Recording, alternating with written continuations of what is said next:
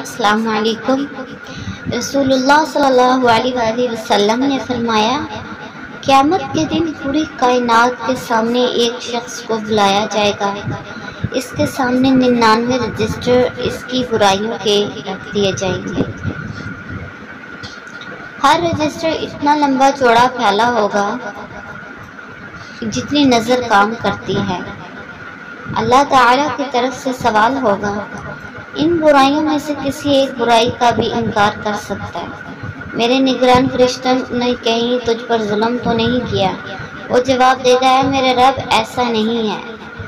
फिर सवाल होगा कि कोई उज़र हो तो पेश करो, या कोई नेकी हो तो सामने लाओ। बंदा डरते डरते जवाब देगा, या रब कोई उज़र भी नहीं और कोई नेके भी नहीं। अल्लाह ताला फरमाएँगे तेरी एक नेकी हमारे पास महफूज है। याद रख, आज तुझ पर जुल्म नहीं किया जाएगा। चुनाचे, एक कागज़ का टुकड़ा निकाला जाएगा। इसमें लिखा होगा, अशहदु व अशहदु अन्ना मुहम्मदन अब्दुहु व रसूल।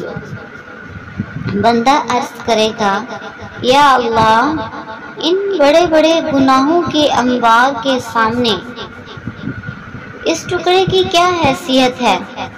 जवाब मिलेगा, आज तुझ पर जुल्म नहीं होगा। चुनाची गुनाहों के वो बड़े बड़े रजिस्टर तराजू के एक पलड़े में रख दिए जाएँगे और कागज़ का टुकड़ा दूसरे पलड़े में रख कर वज़न किया जाएगा। तो वो कलमे वाला पलड़ा भारी हो जाएगा।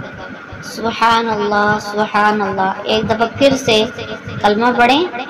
सच्चे दिल से ला इलाहा इल्लल्लाहु मुहम्मद रसूलुल्लाह